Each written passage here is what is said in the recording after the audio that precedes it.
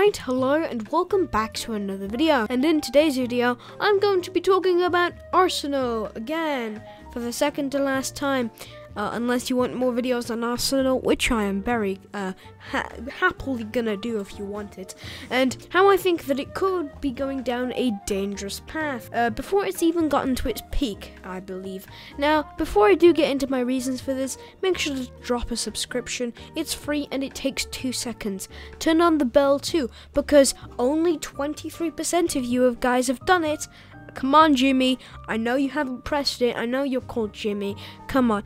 Uh, you haven't press, pressed it. I know. I know. I know how it is to be the people that uh, haven't pressed it. They just write haven't pressed it on your forehead. Anyways, let's press on with the video. You see, I got you. I got you. I was. I'm you thought I was gonna do a segue? No, I did. Uh, now, what I'm going to be talking about is the skill gap.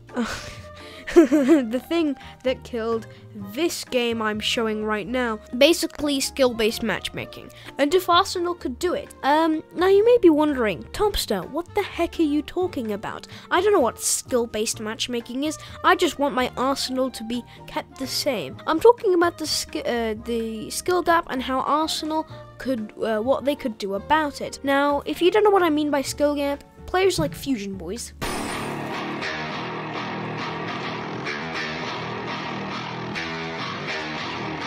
basically top tier players. Like they will uh, they compete in tournaments and stuff like that against players like Chase Rooney now I ain't saying Chase Rooney's bad at all because he's actually pretty good and is probably better than me. Um, but comparing Fusion Boys and Chase Rooney is like comparing a lot of it's basically top tier equipment versus like bottom tier equipment. Like Chase Rooney's good, but not nearly as good as Fusion Boys. So that's what I'm trying to bring uh, bring across here. He isn't he isn't bad, but he isn't Fusion Boys level either. I'm trying to be objective here.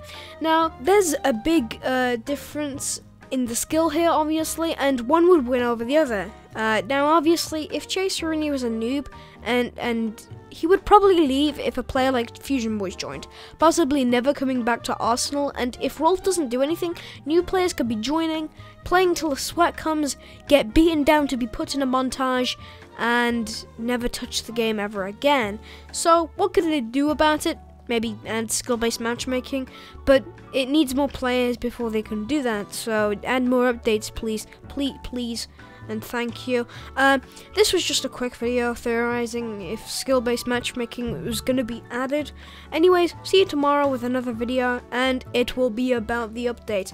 I've also got a stream. If you're watching this, I've got a stream at uh, 11 uh, 11 uh, p.m. GMT or uh, 7 p.m. EST, I believe. So have fun, yes, and watch it, please.